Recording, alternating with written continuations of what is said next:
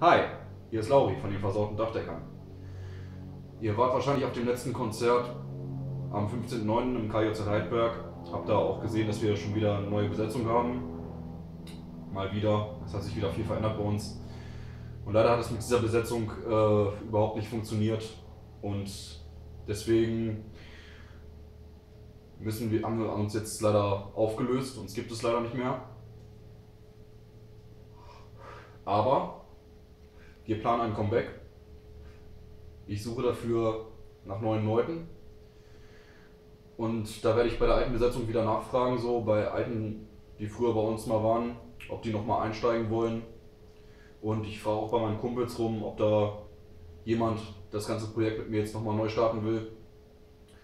Und auch ihr, liebe Fans, könnt euch da bei mir melden und bewerben, wenn ihr Bock habt. Wer mich halt eben etwas besser kennt, weiß ja auch äh, meine Handynummer ne, oder wie ich bei Facebook heiße. Und dann kann derjenige oder diejenige sich halt eben bei mir auch gerne melden. Und vielleicht ist ja einer von euch dann in einem halben Jahr oder dreiviertel Jahr mit dabei auf der Bühne. Der Proberaum ist noch vorhanden und ja, dann können wir das Ganze wieder neu starten. Das wäre auf jeden Fall cool.